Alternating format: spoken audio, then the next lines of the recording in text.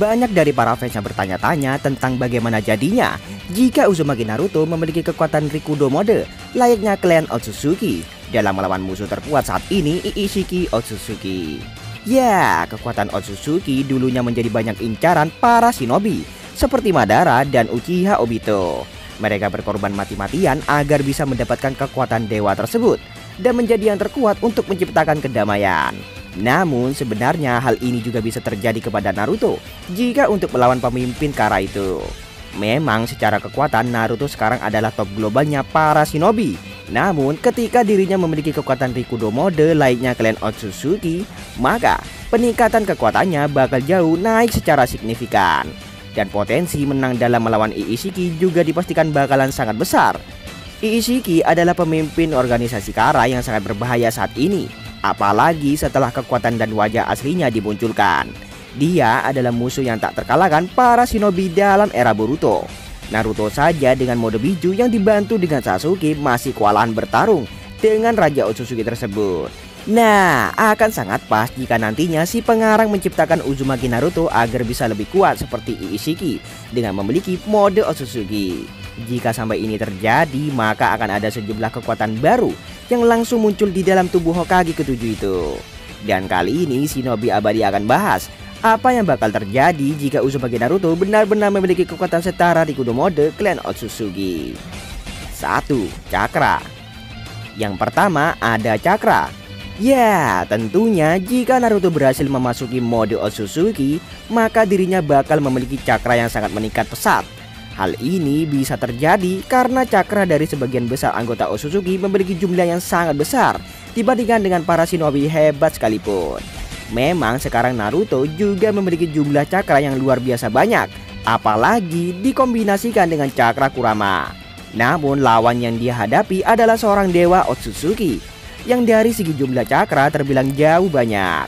Dia juga memiliki suplai cakra dari seekor jubi. Hal ini pernah terbukti pada manga Ishiki yang masih dalam bentuk jige tersebut mengambil sejumlah cakra Jubi sebelum berhadapan dengan Naruto. Nah, jika Naruto berhasil masuk ke tahap mode Otsutsuki, maka jumlah cakranya bakal naik secara drastis. Dan tak cuma itu, setiap anggota Otsutsuki juga bakal memiliki kemampuan untuk menyerap cakra sebanyak apa pun. Ya, sudah tak perlu diragukan, hampir semua anggota Otsutsuki dapat melakukan teknik yang satu ini. Anak dari Naruto saja yaitu Boruto juga dapat menyerap cakra ketika memiliki karma dan kerasukan mode Otsutsuki.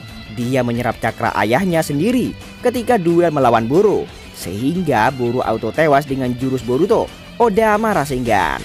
Yang berarti ini membuktikan kalau dengan memiliki mode Otsutsuki memiliki cakra yang tak terbatas bukan hal yang sulit. Tentunya kesempatan untuk melawan Iishiki semakin besar dan kemenangan bakal jatuh di tangan ayah Boruto tersebut. 2. Dojutsu Selanjutnya ada Dojutsu. Potensi Naruto untuk memiliki kekuatan mata bakal sangat besar jika berhasil berubah wujud ke bentuk Otsutsuki. Dan ini pernah terbukti dengan Madara Uchiha dulu dalam Perang Dunia Ninja keempat. Saat Madara pernah menjadi mode Rikudo atau Otsutsuki, secara otomatis si pengguna mendapatkan sebuah kekuatan baru dan salah satunya terletak pada dojutsu mata miliknya. Jika Naruto memiliki mata seperti Rinnegan Madara, dia mampu mengeluarkan teknik Limbo Hengoku. Nah, teknik ini terbilang sederhana namun sangat mematikan. Jurus tersebut mirip seperti Shinra Tensei. Hanya saja dengan Limbo Hengoku, dirinya dapat memusatkan serangannya. Sehingga pemimpin Uchiha tersebut dapat menyerang musuh yang dia target. Dalam pertarungan, dia mampu merobohkan ke sembilan biju sekaligus. Jadi bisa dibayangkan, kekuatan dojutsu tersebut bakal sangat mematikan jika sampai dipakai oleh Naruto.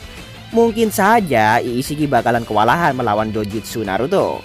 Namun, para fans juga memiliki asumsi lain, yaitu kalau mungkin saja setelah mode Otsutsuki Naruto bangkit, maka dia bakal langsung memiliki kekuatan mata baru selain Rinnegan.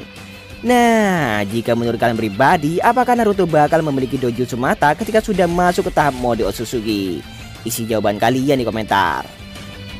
3. Jutsu baru Yang ketiga ada jutsu baru Kemungkinan yang satu ini dipastikan bakalan terjadi jika seorang shinobi berhasil berubah wujud ke bentuk Otsutsuki Termasuk dengan Uzumaki Naruto sekalipun Ya, ini pernah terjadi dengan Madara dulu.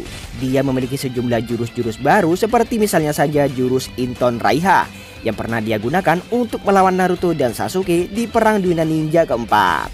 Serangan itu seperti sebuah sambaran petir yang menyebar ke target musuh dan kemungkinan besar jika sampai terkena petir Inton Raiha dalam mode Otsutsuki, maka akan terjadi luka yang sangat parah.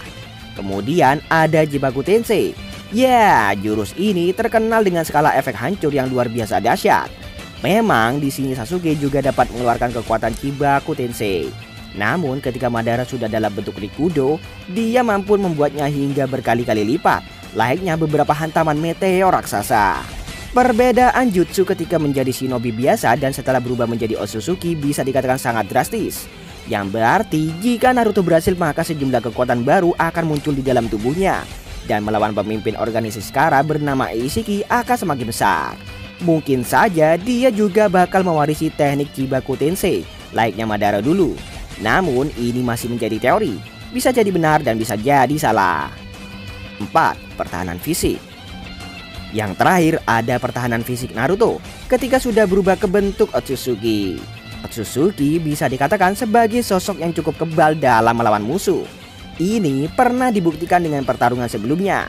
Misalnya saja, Iishiki Otsutsuki dalam wujud aslinya memiliki kekebalan untuk menahan serangan bola api Kashinkoji. Kemudian jika Momoshiki, dia dapat bertahan dari serangan terdahsyat Sasuke, Chibaku Tensei. Dan yang paling gila ada Madara yang bertahan dari serangan ganas Gai, Hachimoton Konojin. Padahal jika shinobi biasa terkena serangan tersebut, maka luka yang diakibatkan bakalan sangat parah atau bisa saja auto meninggal. Ya, mengingat kekuatan ketika dalam mode dewa tersebut sangatlah besar, maka ini juga harus diimbangi dengan pertahanan fisik yang sangat kuat.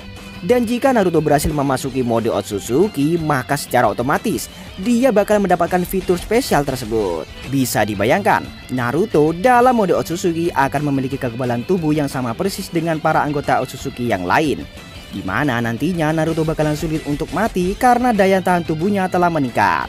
Jika menurut kalian pribadi, apakah Naruto bakalan sulit mati ketika sudah berubah wujud ke mode Otsutsuki? Isi jawaban kalian di bawah. Nah, itulah beberapa penjelasan tentang gimana jadinya jika Uzumaki Naruto memiliki kekuatan setara Rikudo mode atau anggota Otsutsuki dalam melawan Ishiki Otsutsuki.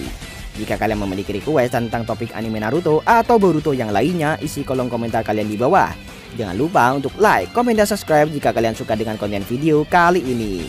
Terima kasih yang sudah nonton dan see you next time di next video.